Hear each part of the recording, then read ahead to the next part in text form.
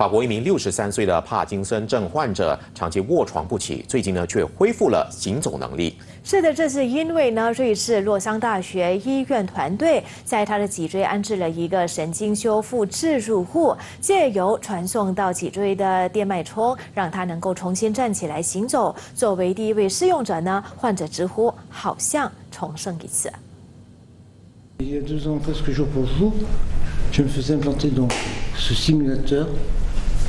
Par Jocelyne. Et puis ça a changé ma vie en ce sens que maintenant, je suis autonome. Comme vous l'avez vu, je peux marcher. J'ai encore des difficultés à parler, mais ça c'est autre chose. Voilà.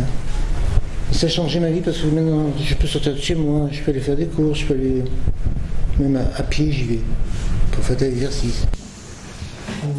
研发这一项神经修复置入物的 Onward 医药首席执行员解释，放置在脊椎上的仪器和腹部皮肤下的电脉冲仪器相结合，刺激脊椎，激活腿部的肌肉，恢复病患的行走能力。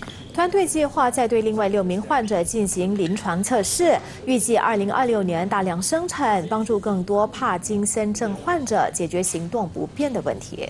帕金森症是一种神经系统退化疾病，病患会颤抖、僵硬、难以平衡和协调身体。二零一九年，全球有超过八百五十万人患上了这种疾病。